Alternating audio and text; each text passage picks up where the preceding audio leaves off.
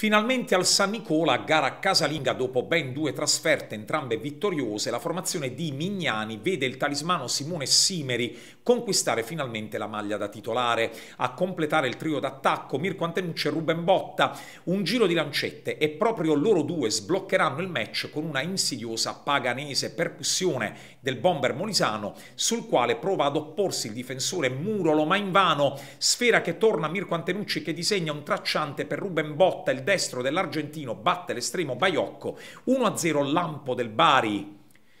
La reazione dei campani, Cretella, il tiro, cross pericolosissimo, non impeccabile, Gigi Frattali ci mette una pezza belli, gara molto godibile, Del Rico innesca botta, difesa campana sguarnita, palla che finisce a Mattia Maita, la doppia chance per il centrocampista bianco-rosso, finale di tempo decisamente incandescente, prima l'espulsione di Raffaele Bianco, colpo proibito rifilato a Cretella e contestuale ammonizione del paganese Castaldo, un minuto dopo ed è calcio di rigore procurato da Valerio Di Cesare, atterrato in aria da schiavi dal dischetto Mirko Antenucci contro l'estremo Baiocco che si erge gran protagonista per questa miracolosa deviazione complice la traversa.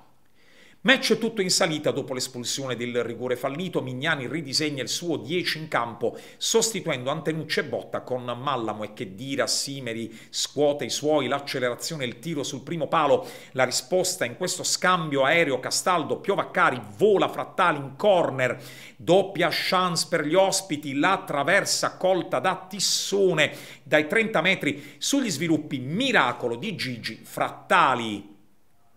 Ma l'inerzia è ormai invertita e la formazione di Grassadonia raccoglie i frutti della superiorità numerica. 3 contro 3 in rapida ripartenza, pallone che finisce a Marco Firenze, il cui diagonale finisce alle spalle di Frattali, il Bari è però reattivo dopo il pari paganese, i tentativi di Derrico e Simeri sono insistiti e trovano un ottimo Baiocco ad opporsi, il risultato non si schioda e nell'ottica del se non puoi vincerla, bada almeno a non perderla, può ritenersi un passo avanti in vista dell'infrasettimanale a Messina. Questo rocambolesco match lascia l'eredità di un espulso e diversi ammoniti, ma una aspirante capolista deve saper affrontare anche queste situazioni tipiche di un campionato come quello di Serie C, sponda meridionale.